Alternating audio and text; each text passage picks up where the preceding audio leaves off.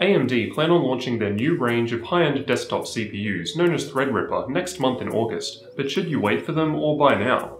Let's find out.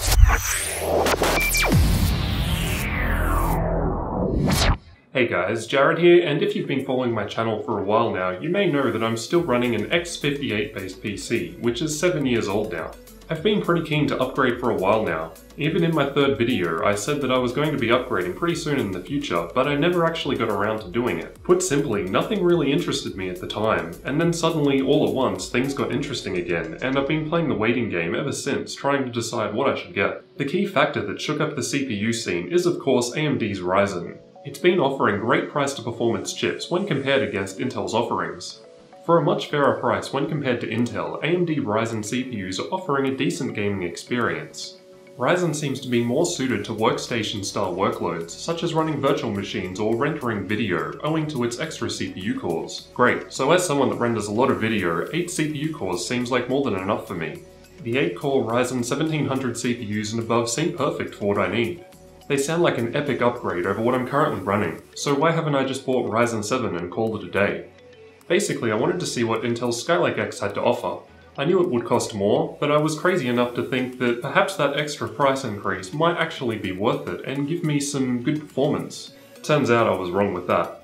After seeing many benchmarks of Skylake X vs Ryzen 7, the Ryzen CPUs seem to offer a lot of value, even trading blows with Skylake X in some tests. To be honest, 8 CPU cores is probably more than enough for what I'm going to be doing with my computer, but the inner enthusiast in me kind of just wants those 12 and 16 core parts. I can't wait to see what they have to offer. If they're anything like Ryzen, it should change things up quite a lot. While Threadripper might not dominate Intel's lineup in terms of pure performance, it appears to be hundreds of dollars cheaper, which is extremely interesting and I think definitely worth waiting for. Intel's official marketing lists their 12-core i9-7920X CPU at 1,199 US dollars, and the 16-core i9-7960X CPU at 1,000 699 US dollars. Compared with AMD's Threadripper, the 12-core 1920X CPU has been announced at 799 US dollars, with the 16-core 1950X at 999 US dollars. That's a $400 and $700 price difference respectively, quite substantial.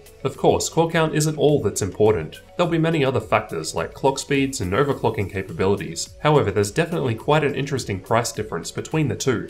If you're currently on the fence with regards to buying a new CPU for productivity use cases, I'd definitely wait and see what AMD's Threadripper has to offer. It's better to find out first before potentially wasting your money on Skylake X. If you're buying a CPU primarily for gaming, there's probably not that much difference in waiting. You'd be better off buying something like a 7700K from Intel or a Ryzen 7 CPU, as the higher clock speeds will probably help you out more there. Not to mention, the additional cores from Skylake X and Threadripper probably aren't going to help you that much in most of the games that you'll be playing. Even if you aren't planning on buying Threadripper, at this point with just a few weeks away, I'd probably still wait anyway to see what happens. Who knows, maybe Intel might even drop some of their prices in order to take back some of that bleeding market share that they've been losing to AMD. Although knowing Intel, that's probably unlikely.